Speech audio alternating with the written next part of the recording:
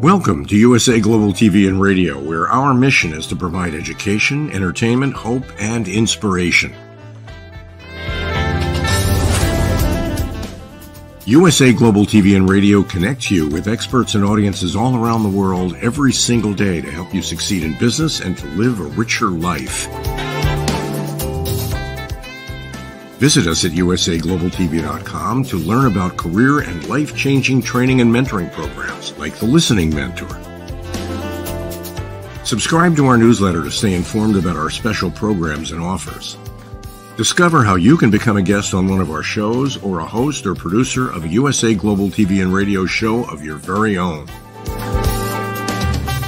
That's USA Global TV and Radio, where the doctor is always in.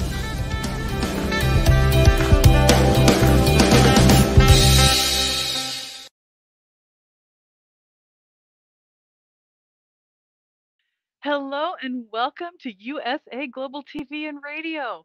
I am Tracy Cram Perkins, and our show today is Dementia Home Care. I invite you to subscribe to our YouTube channel, USA Global TV and Radio. I am a four time dementia caregiving survivor and the author of Dementia Home Care How to Prepare Before, During, and After. And Unfortunately, our guest is running late today, but I'd like to introduce him anyway. Uh, Joining me today will be Dr. Les Griffith. Uh, Les is a physician, author, lecturer, and public speaker who has been involved in educating students and the public for over 40 years. He is the co founder of Bastyr University, the Harvard of Science based natural medicine, where he holds a position of professor emeritus. He has spent the last 10 years exploring and researching the role of mitochondria and what it plays in the generation of inflammation that activates macrophages and microglia in aging and degenerative disorders, and how an age related deficiency of alpha ketoglutarate, also known as AKG, can cripple the stem cell's ability to repair and heal or rebuild injured, old, or dysfunctioning cells. He is currently researching how CBDs anti inflammatory and oxidant mechanisms play a role in disease prevention. Anyway, since we are waiting for him at the moment, I'm going to take this opportunity and talk a little bit about my book because we haven't talked about it in quite some time. For those of you not aware, I am a four times I said dementia home care dementia care survivor. I wrote this book as a I wrote this book as in order to keep a promise to my father, who asked me, What does it take to be treated like a human being? And so I'd like to read you the first chapter quickly and then talk about some of the features in the book and share some stories with you. So, first of all, and oh, I do want to mention this because I am a fellow caregiver and I cared for four family members. I want you to know that this has, and let me see if I can do this in the screen here, a four page table of content that you can run your finger down the page to find the challenge of the day because I know how difficult it is to find answers when you are stressed. So let's get started, first of all, with the introduction here. We all look for quick answers and shortcuts, especially when we're under great stress. This book is for anyone who is struggling to care for someone with dementia. It contains what can I try in this moment? Tips you can use, whether you're caring for a family member or a friend. Everyone's journey is different. The road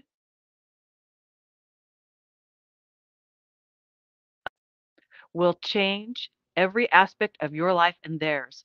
Dementia is like playing hide and seek. Ready or not, here I come. None of us saw dementia barreling down the hill at us like a Mack truck with no brakes because it slowly arrived with plausible explanations for everything. Only when we look back do we see the mounting evidence. No two people experience dementia the same way. No two family members will care for a loved one with dementia the same way. Caring for someone with dementia is one of the most stressful burdens a person can ever accept. We have more training to drive a car, operate a smartphone, or boil water than we do to care for someone who is saying the long goodbye. Unlike a day job with dementia care, there are no vacations, no pay raises, and no glowing performance reviews. And unlike childcare, there is no first day of kindergarten, no graduation,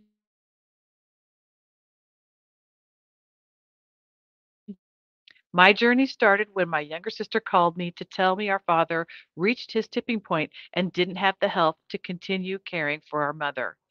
What, what I didn't know at the time was my father already traveled down the road of Alzheimer's disease. Alzheimer's disease is a great mimic, disguising itself as anything else, even from the person who has the disease.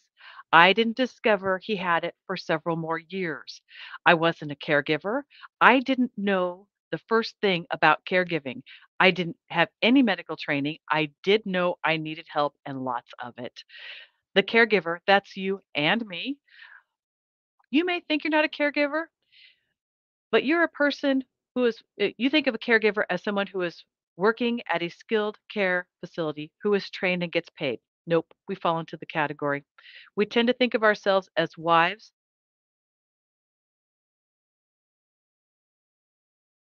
husbands, life partners, daughters, sons, friends, or extended family. You are a caregiver. Even if you are 3,000 miles away and managing as much as humanly possible over the phone, you are still a caregiver. We are America's largest healthcare provider, the unpaid family caregiver. And because of that, I started out on a journey with my family trying to figure out how to do dementia care and I failed 75% of the time. And I now look at that as learning 75% of the ways not to take care of somebody. And I put in the 25% of the time things that worked because I wanted to make sure there was something here as a toolbox. I used this toolbox because I couldn't find things that I was looking for in other books. My dad would melt down in front of me. I would remember I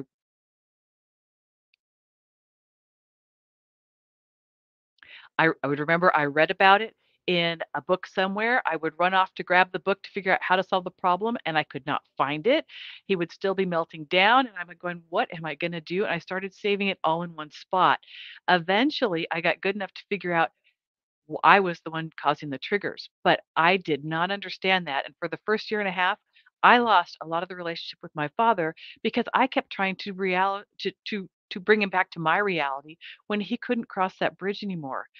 You might not be aware of it, but with brain diseases, especially Alzheimer's disease, the brain develops holes. Uh, and so the your skull starts filling with fluid so that it protects the brain material. But what's happening is that Im- information that was in that hole, that space that's now gone, is no longer there. And so what I was doing with my dad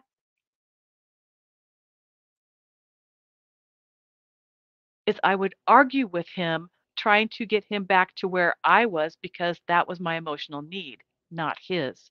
When I finally figured out that that wasn't the way to work with him, and I could actually get into his shoes and walk him through to a place of safety, then we were able to get along so much better and my stress levels decreased massively. So let me give you an example. We had one day where we had to go to a doctor's appointment and it was the middle of winter. I pulled out his favorite coat, and we had exactly 20 minutes to get to the doctor's appointment, which meant I had 15 minutes of driving time and five minutes to get parked and into the building. My dad came out, saw me holding the coat, and screamed, It's poison! And he ripped it out of my hand and threw it on the floor and started uh, panting really heavily that we were going to die for, and yelled, We're going to die from poison gas. In that moment, I panicked, thinking, oh my God, how am I going to get him to a doctor's appointment? The next thing that I thought of was, okay, this isn't going to work, but please, God, let me go with this. I grabbed gloves out of the bathroom and I had my dad inch along the wall and get in front of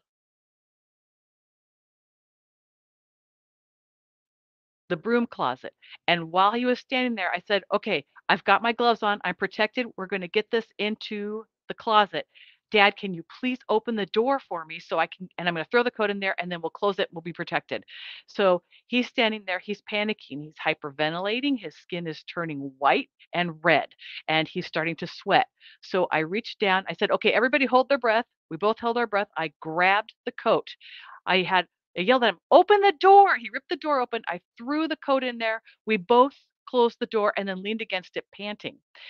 I had already learned by this point that he would mirror whatever I did. So I started to slow my breathing down and he followed me. His breath slowed down. We finally were calm. And by the time he had relaxed, I went and grabbed one of my husband's coats, put it on him, and we were able to get to the doctor's appointment. Earlier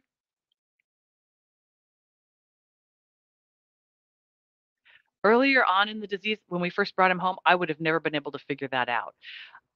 I also have talked to people that had other issues, like a, a woman I talked to recently had a her husband was a military officer and he thought he was in Vietnam. And when they would be driving down the freeway in front of one of the military bases in our area, he would try to leap out of the car on the freeway, which was terrifying to her because she couldn't stop him and she'd have to whip the car over to the side of the road. So we talked about this. He thought he was back in Vietnam. So first of all, we made sure she had the ti the child safety locks turned on in the car so he couldn't open the door without her helping him out. Then we had to go into his reality where his place of safety was. Every time he saw that base, he would suddenly be transported back. So we figured out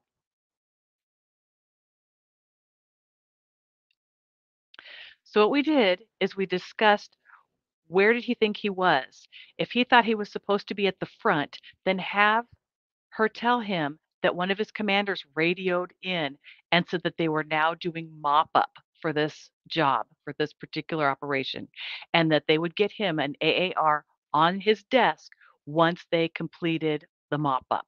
So when she did that for him, he was able to relax because he realized it was taken care of that his plan had worked and that things were going well and he could relax. It was just getting into his shoes so that he could be in a place of safety. So that's one way of working with something. Also, if you've got somebody that's in the family that uh, is accusing you of stealing things. Now, this was a big deal uh, for another family member I had where they were constantly losing stuff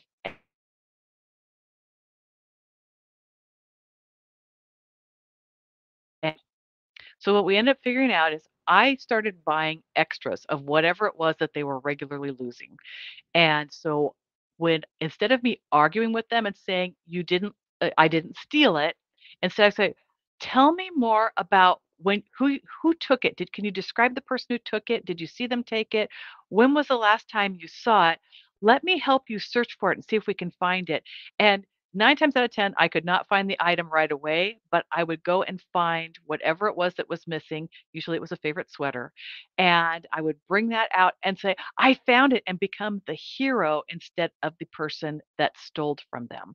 And so it was really important to me to make sure that I brought them back to a place of safety and they knew they could rely on me. Now, I never had to deal with somebody accusing me of cheating on my spouse. Um, I haven't had that opportunity yet, and I hope never to have that, but that is a problem for people. It's very common when you're doing spouse care to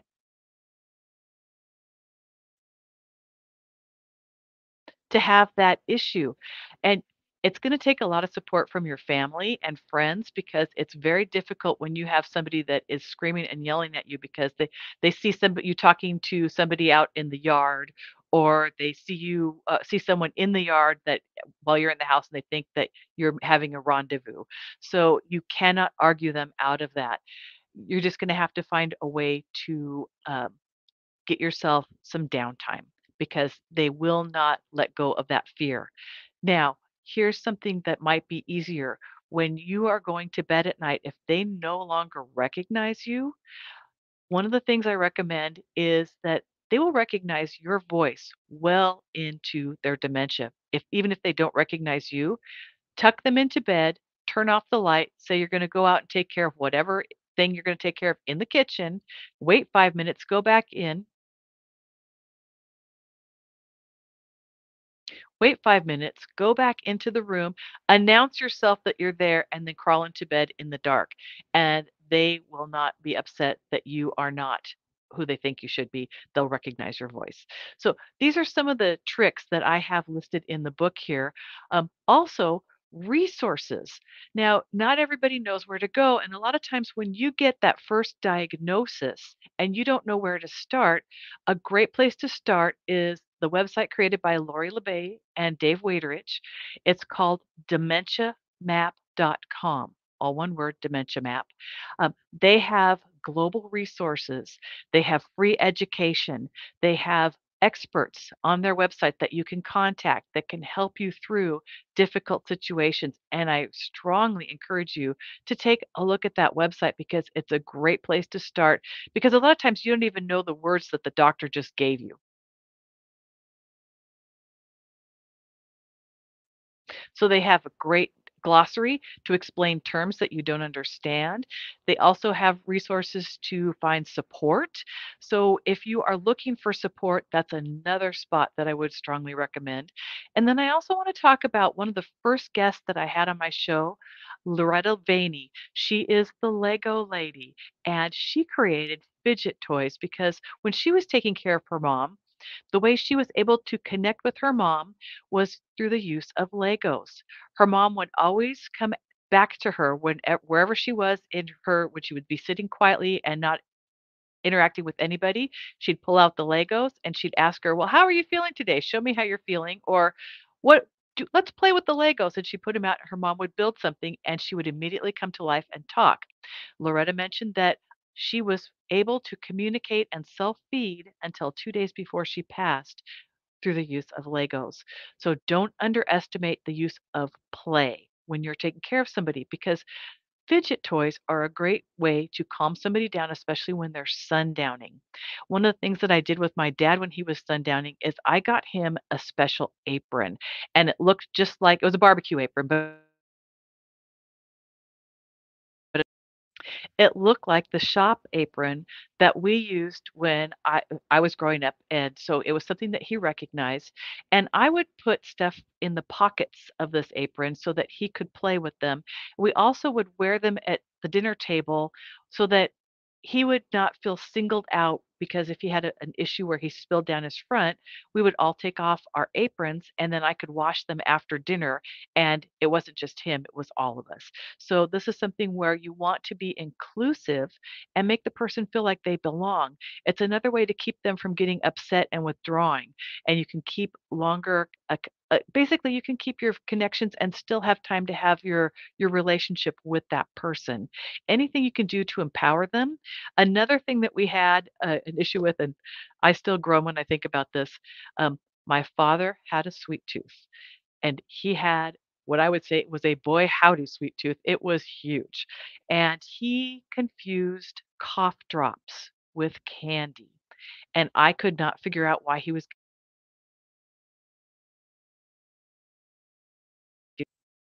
flu-like symptoms. And so uh, we had an event that we were supposed to go to, and my dad instead was feverish. He was really ill. We canceled everything. We stayed home with them. And then we discovered the stash of cough drops in his nightstand because the door was drawer was open. And so my husband and I the next day uh, decided that it was time to take him shopping for sugar-free candies. And he got to pick out whatever he wanted, however many he wanted. And we waited a couple days and uh, uh, we we got all rid of all the cough drops in the house and then started letting him have the candy. And we also gave him some pocket money so he could go buy his own candy. And that was a big turning point for us until he started eating too much candy and we had to kind of shell it out to him. So what I did instead is I started putting nibbling snacks on the kitchen counter. And I would have things that, you know, crackers and a little bit of, you know, fruit or vegetables, whatever he was in the mood to eat, I would have that out. That way he wasn't putting things in his mouth that he shouldn't and also keeping his stomach full so that when he was if he was eating too many sugar-free candies, he didn't become ill.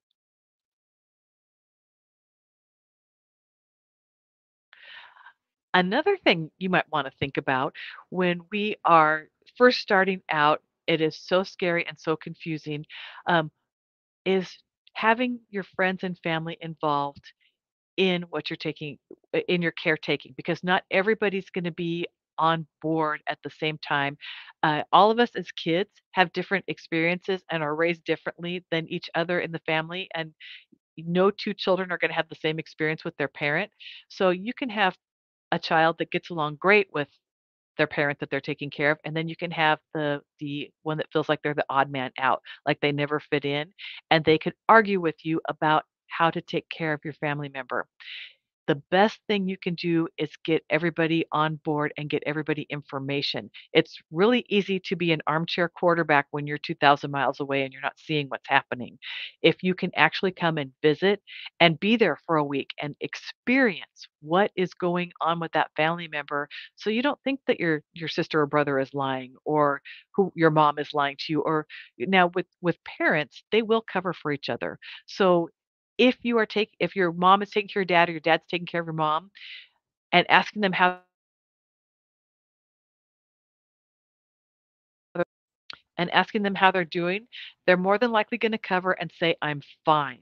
This is another one that was a big eye opener for my family. We had no clue how exhausted my dad was taking care of my mom, even though we had gotten a home health aide to come in and spend a few hours with her every single day to give my dad some respite. By that time, he was so far over the bend that we didn't recognize it and we didn't know he was self medicating on aspirin, which is another problem.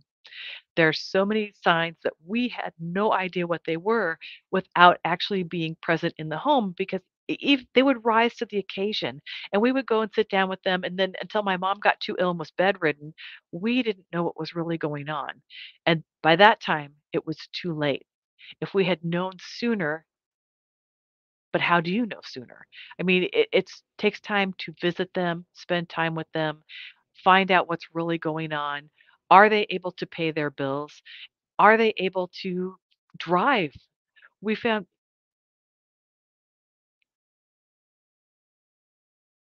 We found when I visited my father that he had sheared off both side view mirrors on his car.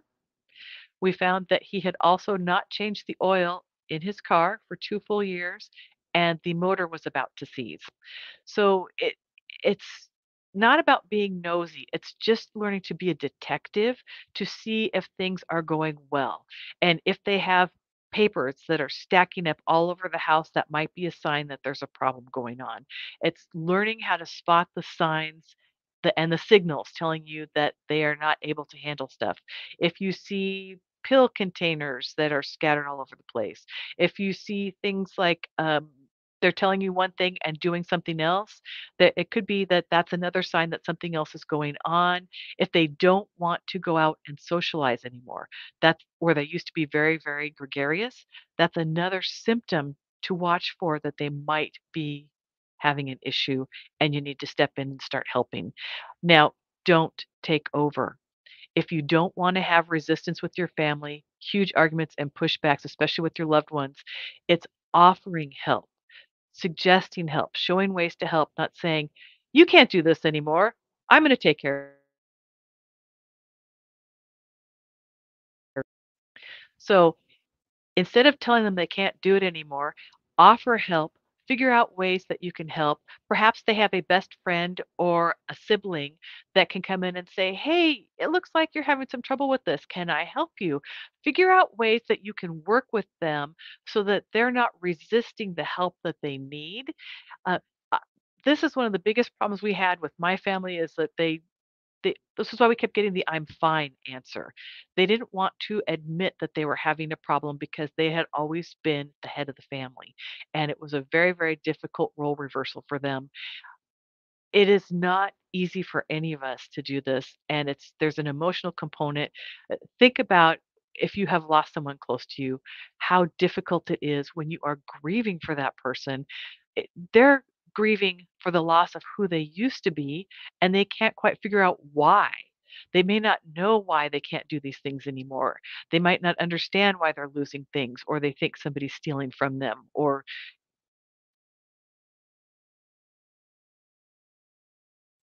or they're embarrassed because they are used to being in charge.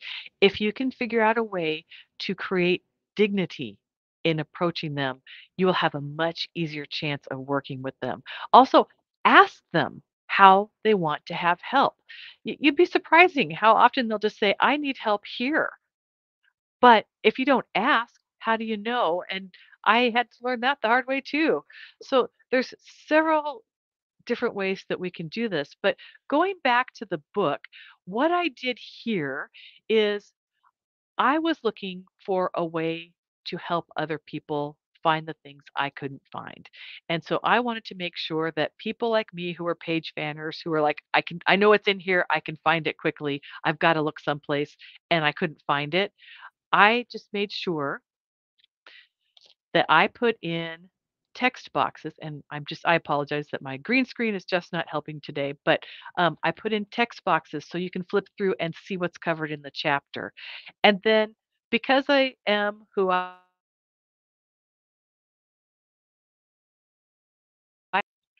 a I've also put in here a cookbook so that others could find uh, well okay let's just be blunt. Not everyone wants to see a dementia book in their home. If you don't want to see a dementia book in your home but you, but the your if your loved one doesn't want to see a dementia book in your home but you need to read it then what i did is i included a cookbook in chapter 13 I ended up putting a, a tab on one of my books in there, and then I put a brown paper bag cover over it. And you can write anything you want on there that your loved one won't want to read.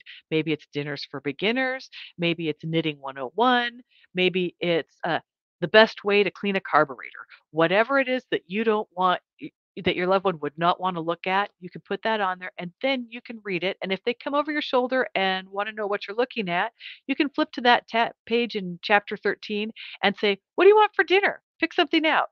Because in here also is a course on how to cook.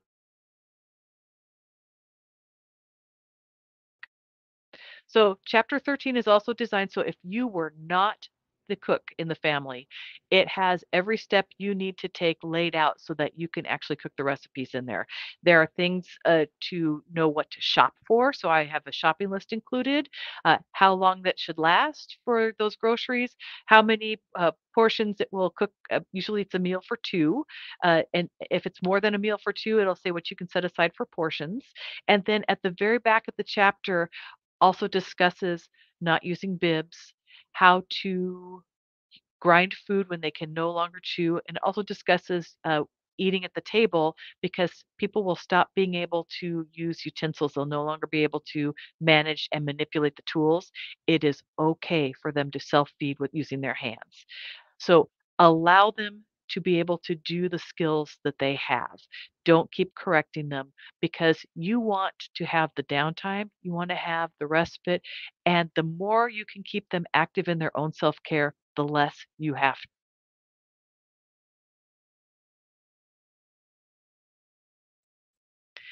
So, in addition to that, I've also got in here over a hundred and 30 resources because I know how desperately we need resources. If you are caring for a spouse, then I highly recommend you look at wellspouse.org. They have telephone and online uh, groups for caring for somebody who is seriously ill. And if you're caring for a spouse that's seriously ill, then you want to take a take a look at their services because you can call them if you can't get a break and leave the house for a regular support group. Um, also check the Alzheimer's Association for uh, local resources for support groups because uh, right now I just want to tell you when you are not caring for yourself, you are going to probably pass before your loved one. You want to take care of yourself, you want to build in time downtime because if you don't do that for yourself, you are going to burn out and you won't be able to give the quality care and you're going to start making mistakes that you wouldn't have made if you'd given yourself time for rest.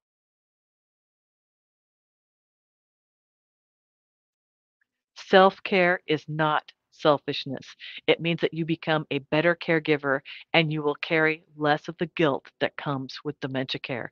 Because trust me, there is so much guilt that is built in with caregiving. You're constantly second guessing yourself. Are you doing the right thing?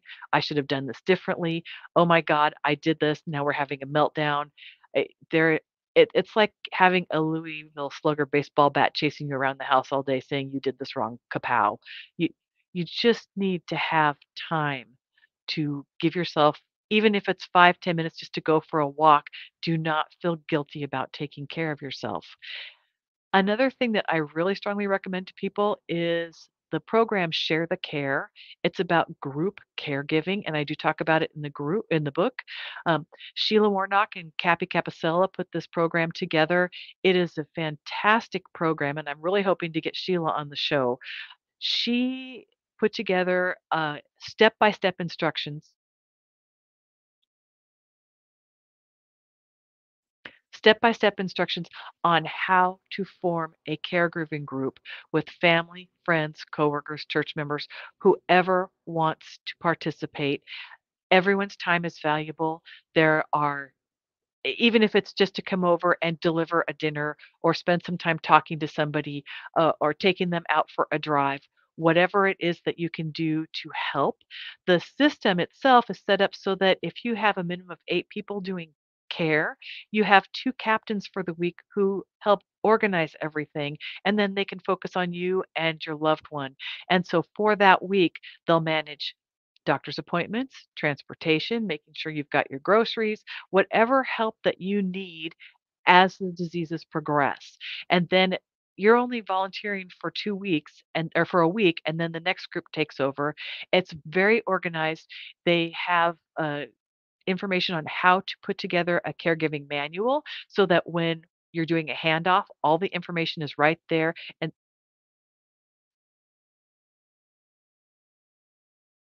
and they can pass it off to you so that you know exactly what's going on.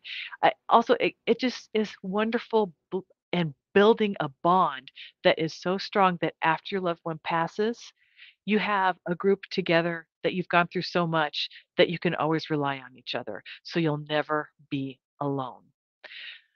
Now, another thing that I really like to talk about, and and don't talk about this very often, is when you are trying oh, um, forgive me, my brain just went blank. It's early in the morning here. Um, when you are trying to uh, figure out how to do these things, a lot of times you're going to feel alone and isolated.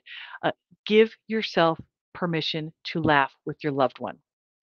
Laughter is the most powerful tool in your toolbox.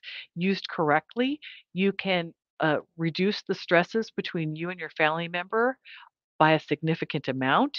If you if they're asking you the same question over and over and over to the point where you're ready to scream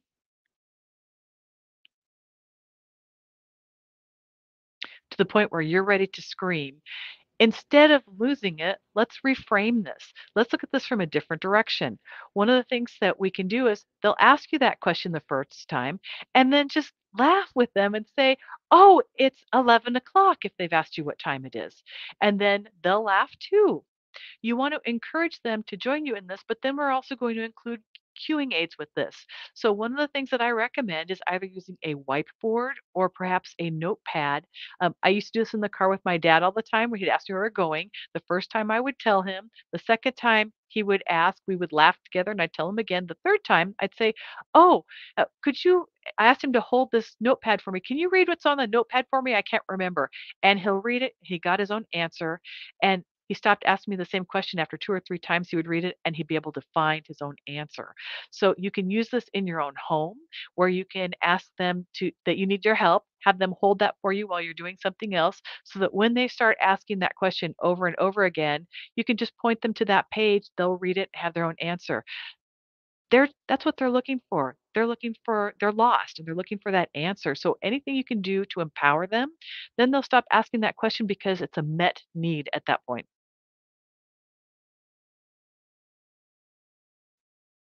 So it's a met need at that point. So anything you can do to empower them to give you downtime is wonderful. I also want to recommend memory cafes. If you're not familiar with memory cafes, these are available all over the country. They are group uh, caregiving activities so that you and your loved one go and, and join for an activity, whether it's story time, painting, just talking to people and, and forming friends. Um, it could be they're playing with Legos, for example. It could also be that you have guest speakers coming in talking about topics that you might not be aware of to help you learn more about dementia care. So I would strongly encourage you to see if you've got mem a memory cafe in your area. It's a great way to end up talking to other people who've gone through the same thing that you have or are going through, and you can share information. And it's also very empowering because at that point, you realize you are not alone because the care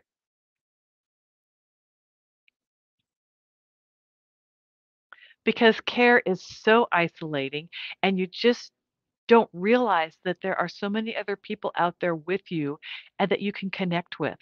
And you never know who you're going to meet that could make a difference for you with just one simple story, or they're telling you something on how they failed and how they got through it that could be the key to helping you. So consider memory cafes.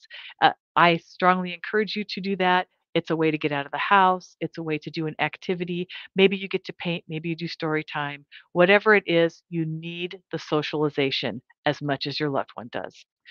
Now, we are getting close to the end of time here. So, and it looks like Les will not be joining us today. Um, I have a couple other things to talk about here, which one is wandering, which I think might take us to the end here. Um, my father was an enormous escape artist, and one of the things that he did before he moved in with us, he had got caught in the system and he was uh, not released to our care, and we had to fight to get him out. And during that time, he knew He knew he didn't belong, and so he would escape from the facilities. And so then they would, uh, after five escapes, they would send him to the next more secure facility. And he was, even though he had moderate dementia, he still had enough of the skills left from his job that he was able to figure out how to escape from each of these places. The last place he was in uh, was the most secure facility in our area. He saw that there was a problem with the plate glass window in his room and he waited until his roommate was taken to physical therapy and he stayed in his pajamas and slippers so nobody would figure out that he was going to escape. He unscrewed the plate glass windows, moved, took it out, climbed out the window, put it back in, and screwed it in properly, and then went for a walk. And they didn't discover he was gone for another 30 minutes. Um, and and then 30 minutes later, 911 started getting calls that there was an elderly gentleman in pajamas and slippers crossing against the light uh, on a main highway. So, uh, in order to prevent that, you have to understand what is causing the problems where he, they're eloping or wandering, escaping, whatever you want to call it. Um, figure out what the triggers are so you can prevent it. On my website, under the resources page, under useful forms, I have the meltdown trigger list. You can use that to identify your loved one's triggers so that you can figure out how to prevent them from wandering out of there. Another thing you want to think about like colors, to prevent them from walking out without you being present. I discovered that a black doormat looks like a hole, and my dad, without being told, would turn around and walk away from that door instead of going out the door. And I discovered this by accident because he and my husband would be outside gardening. They'd come in, track mud all over the floor, and I was getting tired of cleaning the floor every few minutes. So I put a couple of doormats, one inside, one outside my husband wiped his feet, walked in. My husband, my uh, and turned around to look at my dad. My dad turned around and wandered off and came in through the garage. It was like, okay, what's going on here? And we figured out that black was the hole. So it's really easy to put a black doormat in front of the door, any exit door. You can also put shower curtains over a door or drapes so that they don't recognize that that's a door. Now, of course, that didn't necessarily work with my father, but it would work for most ordinary mortals. Another thing to think about is you can literally put a dowel in a window or you can put a window lock uh, because it's too complicated for them to find. And we want to take advantage of tunnel vision. Um, tunnel vision is something that comes along with the dementia where they're just going to be mono doorknob.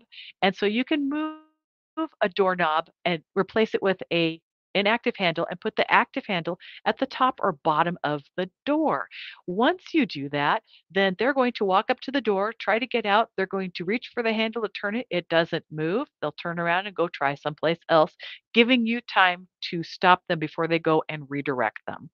So we are just about out of time. I want to thank you for hanging on there with me, and, and I want to let you know that we will be back on December 19th, and our guest will be Beth Marie Fahey. Beth Marie is a dementia caregiving survivor and blogger. She will share with us the importance of life after death of a loved one with dementia. In the meantime, you can go over to our YouTube channel at USA Global TV and Radio and look for the Dementia Home Care playlist where you'll find all of our past episodes. See you next time.